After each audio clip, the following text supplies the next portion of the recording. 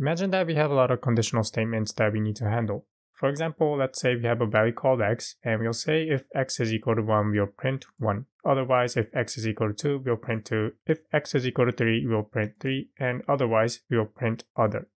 There's a better way and a more concise way to write this same exact code using match.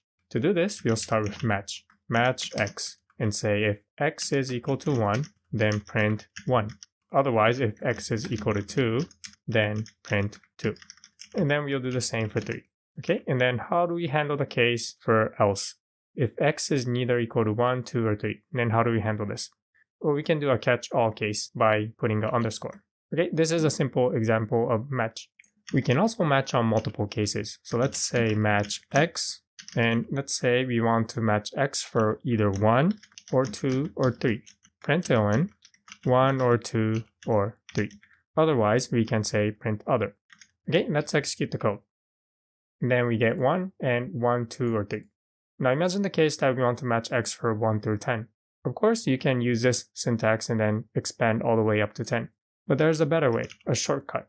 You can say match x, then do 1 dot dot. We also want to match 10, so say 10. Let's print between 1 and 10.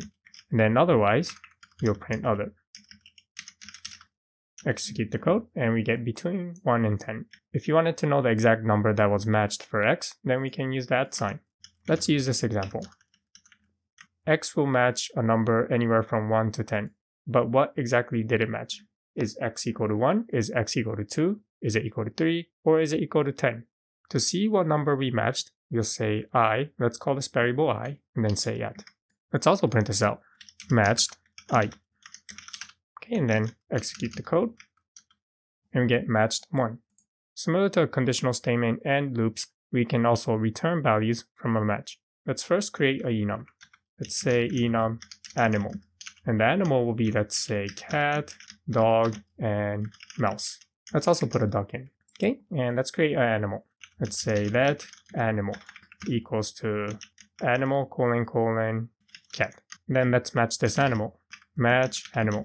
Here we can see that the value of animal is a cat. But imagine the case that we have some variable named animal and we don't know what the value of this animal is. It can be either a cat, can be a dog, duck, or a mouse. We don't know. So in this case, we'll use the match statement.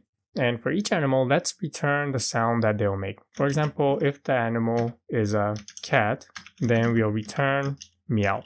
Otherwise, if it is a dog, we'll return wolf. And if it's a duck, then we'll return quack. And if it is a mouse, then I don't know what sound the mouse makes. So let's say for any animal that is not a cat, dog, or a duck, we'll return a question mark. Here we're using a match to return a string literal. Let's assign a variable to this value that is being returned. Let animal sound equal to.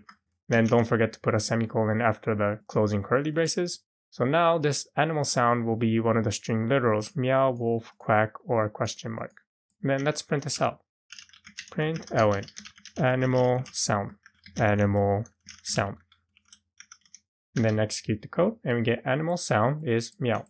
Now one benefit of using a match instead of a if-else conditional statement is that if you forget to handle one of the possible cases, then the code will not compile. For example, the value animal can take on a cat, dog, duck, or a mouse.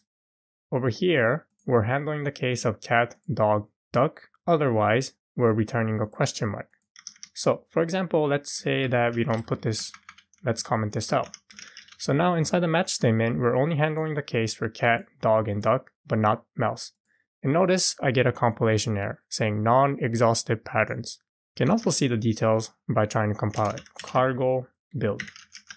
And then it says pattern animal mouse not covered. So this is a nice feature of match. If you forget to handle a possible value, then the code will not compile. Let's put this catch-all statement at the end back. And now the code compiles. Writing code in Rust, you'll also write tunnel match statement using options and results. So let's look at an example. Let's say that x of type option of i32 equal to, let's say, Some of 1. And then let's use the match statement on this. Match x, Some value, Some b then we'll print this value. Print Some b. The other possible value is a none. We'll say println none. Okay, let's execute the code and we get Some 1. And the other example is a result. Let's say that res of type result. For OK type, let's return a number, let's say U32. And for the error type, let's return a string with a capital S. And let's say this is equal to OK, uh, let's say 10. And now imagine the case that we have a variable called res of type result U32 and string for the error type. And imagine that we don't know what the value it contains.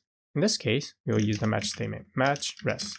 Okay, let's name this to bell. Then print ln, okay, bell. Otherwise, we know that it is error with some message, let's say message, print ln, error with the message. Execute the code and we get OK10. So these are some examples of using match.